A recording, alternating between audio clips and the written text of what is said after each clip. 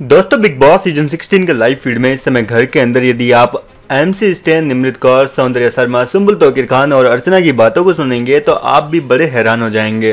दरअसल दोस्तों, यहाँ पर एमसी स्टेन को इस बात का पछतावा हो रहा है कि उस दिन इन सभी के हाथ में वो पावर थी कि वो अंकित, विकास, टीना और शालीन में से किसी को भी घर से बेघर कर सकते थे। और उन्होंने गलती से अंकित को घर से बेघर कर दिया। यहाँ पर दोस्तों, निमृत ने कहा कि कितना फनी होता अगर हम सब लोग मिलकर अंकित की जगह टीना का नाम ले लेते और टीना को घर से बेघर कर देते।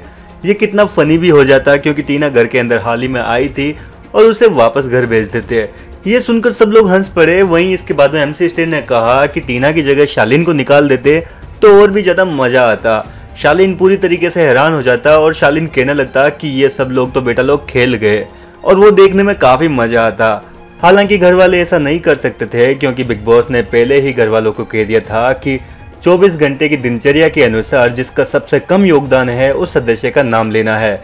और यही वजह है कि अंकित का सबसे कम घर के अंदर 24 घंटे में, यानी कि दिन भर में सबसे कम योगदान रहता है शो के प्रति, जिसकी वजह से घर वालों ने अंकित का नाम लेकर अंकित को घर से विदाई दे दी।